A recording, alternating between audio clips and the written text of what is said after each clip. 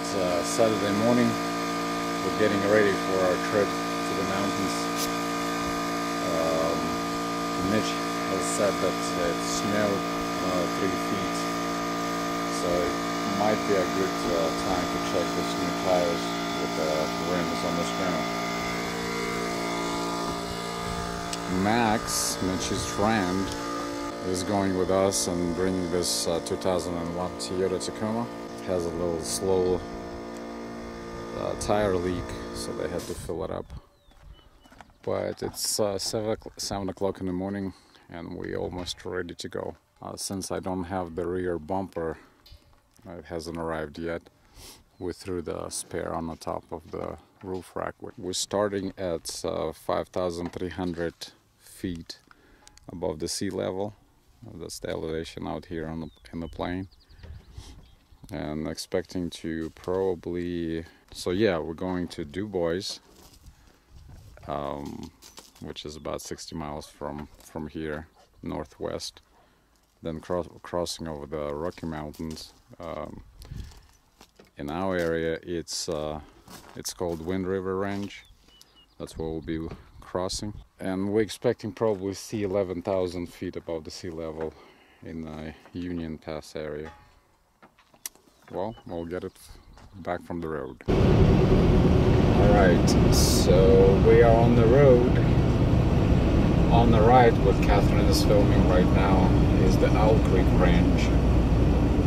And on the left, Wind River Range, that's the one that we'll be crossing farther down uh, like 80 miles, 70 miles from here. Actually, probably 80, 80 over the Wind River Range of the Rocky Mountains.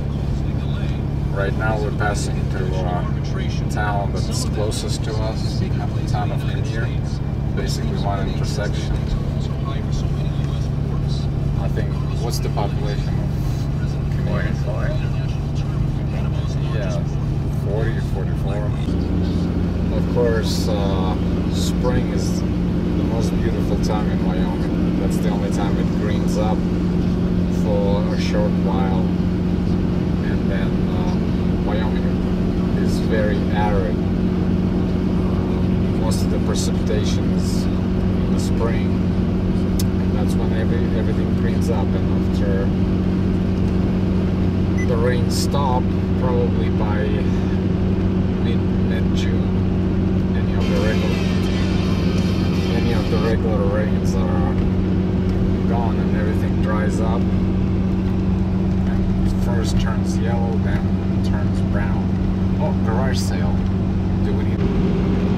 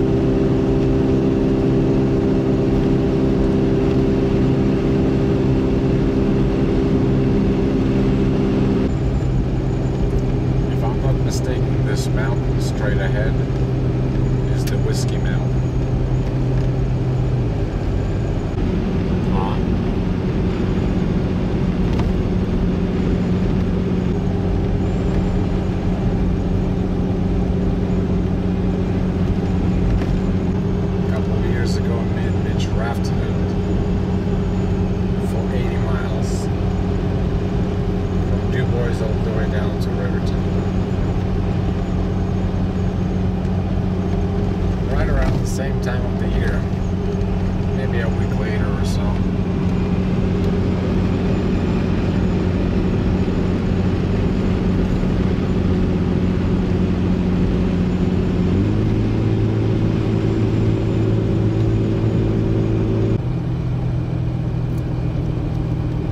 All right, so we are almost 50, uh, take it back, almost 80 miles to our trip. We're entering town of Dubois. Dubois population is um, around 1,000 residents.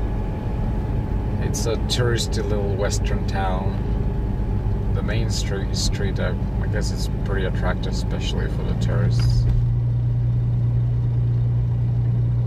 Um, elevation out here is, let me check.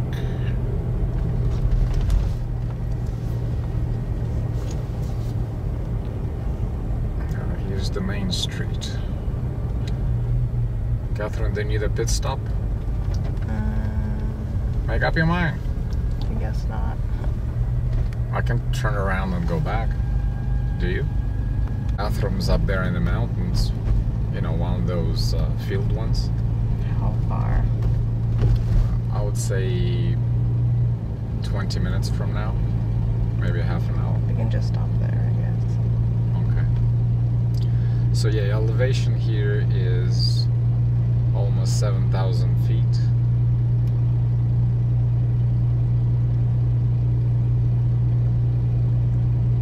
And of course, there's the famous Wyoming jackalope.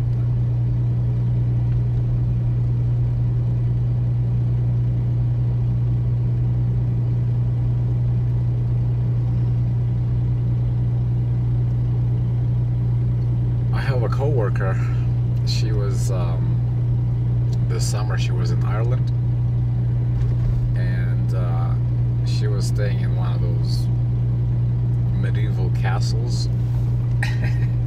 and then uh, in the dining room, she was she was sitting and just looking at the walls and all the decorations and whatnot. And all of a sudden, she sees the jackalope and she was like she couldn't believe it. And it turned out that uh, I don't remember if it was the owner of the of the diner or if it was one of the waiters. But they uh, spent quite a quite a bit of time here in Wyoming. Uh, she was she told me for what reason. I don't think it was studying. Well whatever it was. Halfway ac- across the, the world she came across the jackalope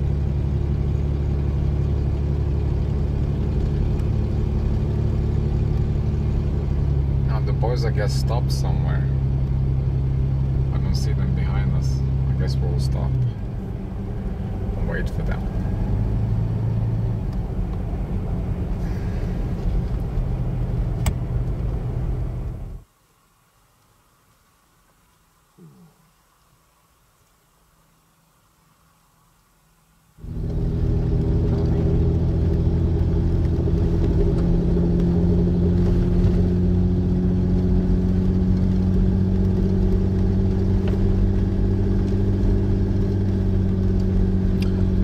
So we are off the improved road and climbing to the pass now. And it's absolutely gorgeous out here. So getting to Dubois, I managed. Let's see.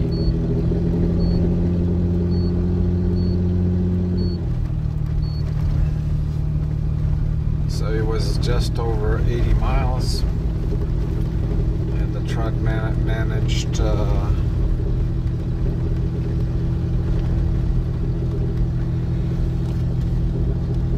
well, I, guess now it's skewed because we've been climbing for a while, so it's down to seven miles per gallon. Well, seven and a half, but I think it was right around 12 uh, before we got off the pavement and I think it should be uh, little bit higher I think the reason it's it was uh, at 12 was because we were driving into the wind and climbing I'm surprised to see the aspen uh, it's already has leaves. As cold as it was this spring, you know.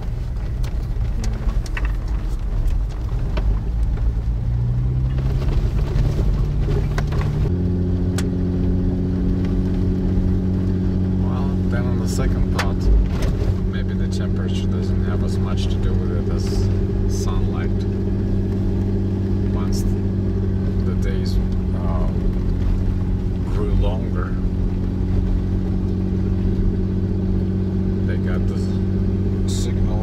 wake up. Detector just Okay, so we're making a pit stop and going to bring the tire pressure to. Well, I'm not sure. This new tires, Biv Goodrich's, I, I used to bring it down to 20 for comfort, but this seems to be a lot softer, so I'll probably bring it down to. Say what? 25. 25? Yeah, I'll bring down to 25 and see. Maybe even 30, because I'm at 40 right now. Drop 10 and see how, how that's going to do. Is there somebody there? No, the door's just locked. Oh, well, you will have to the random metal go. There's a broken window. Oh. Yeah, I've heard. Uh... Yeah, no, it's So, boys, um, what what do you say?